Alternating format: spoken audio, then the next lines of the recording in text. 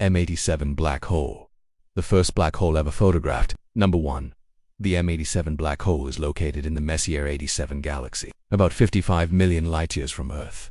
Number 2. It was the first black hole ever imaged by humans, revealed by the Event Horizon Telescope in 2019. Number 3.